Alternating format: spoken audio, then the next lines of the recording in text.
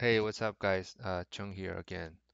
Uh, this time, uh, let's continue our LeetCode journey here. Uh, let's take a look at this problem, uh, 1029, two city scheduling.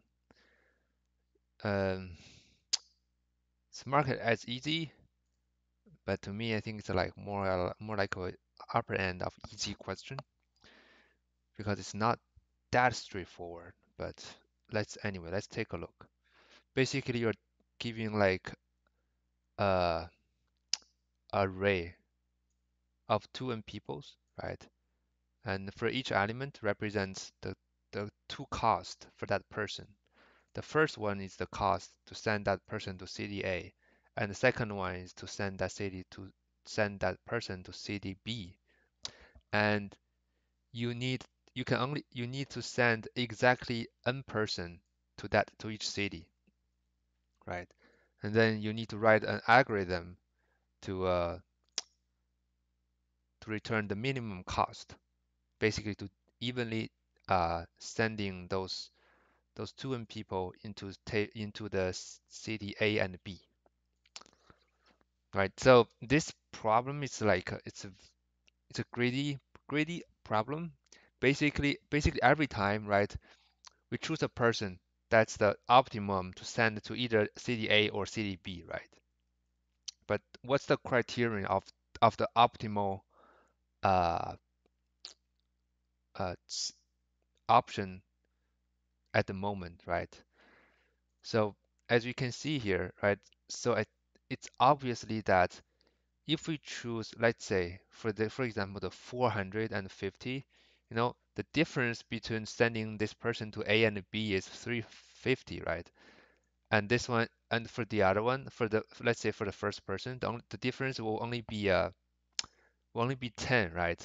So what? So that means that the earlier, you know, if we have if we send this person with the biggest difference at the as early as possible, which means at the if we send this person as early as possible, it's more it's more likely we'll be able to choose between this will be will have the ability it's more likely we have the ability to choose if we want to send this person to a to either a city A or B, right?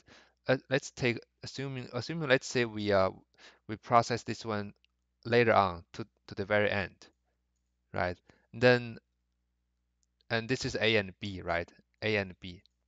Let's say when we uh before processing this this persons, let's say we already sent n persons to the city B. It it already has n persons. Then when we seize this seize this person here, the only choice we have is is nothing but send this person to A, right? That will give us like a worst a worse uh, result, right? So basically now it, it's, it's I think it's pretty clear that what we need to do is we need to sort by the difference of each person, right? And then we sort uh, we start processing the persons from uh, with the the biggest difference first, and then we we will have a, like a best possibilities to choose, right? Basically to, to save the cost when we, when we process that person. I think there are like my there might be some other ways of, of doing this problem, but I think the way I just described was the one I felt like was uh felt like kind of intuitive, at least to me.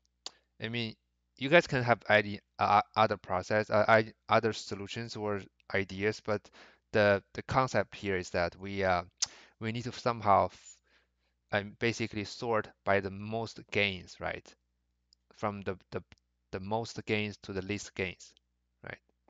That's the key idea here. Okay, let's let's start coding here. And so at least from my solutions here, I need to sort this cost, right, by the difference, right? So I'm gonna do a sort here, right? And the key is that uh, lambda, right? I'm gonna sort it by the uh, x x uh, So I'm just using a absolute uh, value here to sort the most uh, the biggest difference, right?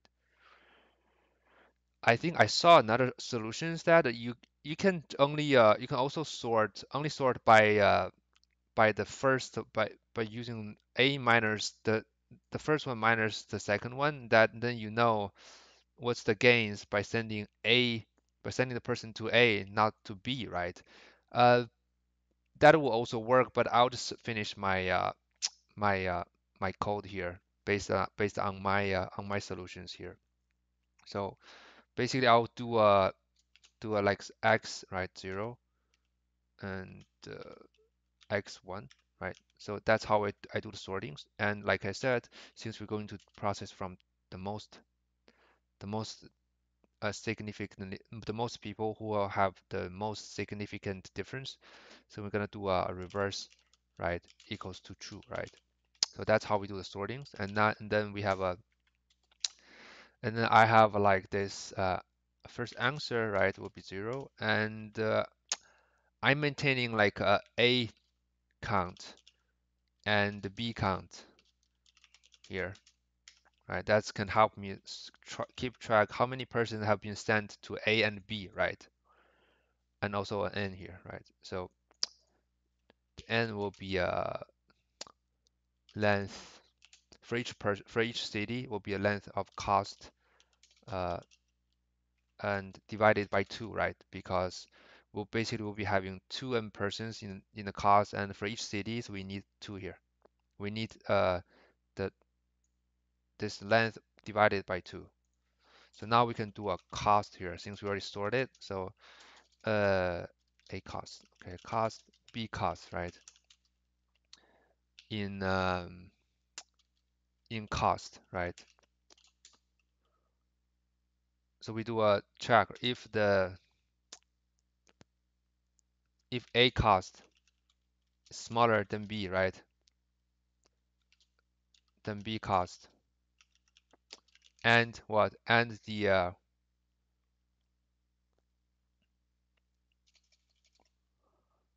uh, and then we just do a what? We we, we use the the cost from a in this case, right? Answer plus uh, a cost, and we uh, we just uh, increase the count by one. Uh, actually, we probably we don't need two counters here. All we need is this one. So first condition is that or right and or the b count or the b count uh, is equals to the to the n, right? So if we already have this b count reach the reach the maximum capacity of cities, so all we don't need to worry about any of the the the conditions here. We just simply assign the cost, right? I think in this case we don't even need that. We all we need is a counter for for the b. So else, right? Else we uh basically what do we do? We use the uh, the b counter, so the b cost, right? And then we simply add the b count by one, right? In the end, we just return the answer. I think this should work. Yeah, let's see.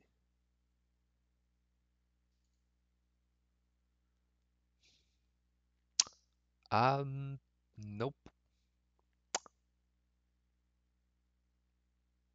Ah, I know. So yeah, I think we still need this counter A here because not everything, uh, not every time A is smaller than B, we need, and another condition is that AND, right? And the A counter is smaller than the, than the N, right? And then, yeah, I need the parentheses to, to group those things together.